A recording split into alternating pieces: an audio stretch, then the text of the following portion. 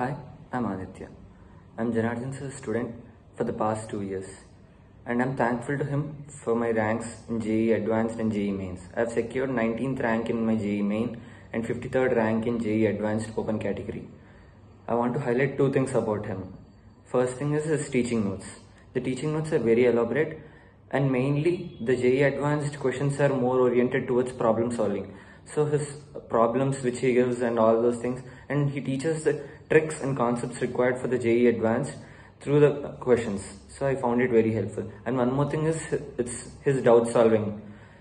It, it won't be like you're asking a doubt to a teacher. It will be like you're asking a doubt to your friend because he, uh, sir will first listen your approach and he'll then improvise on your approach and tell uh, where your approach went wrong and all those things and then he'll tell his approach through which a student can solve a question when uh, given to him in the shortest possible time and in the quickest, uh, quickest approach, the shortest possible method also.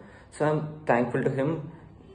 Due to him, my physics has improved a lot. Mainly not only the physics concepts and all, because of him, my physics, my interest in physics also increased. Normally I'm a maths oriented guy. I have a lot of interest in maths, but uh, the interest in physics increased due to Janardhan sir. So I'm thankful to him. Thank you.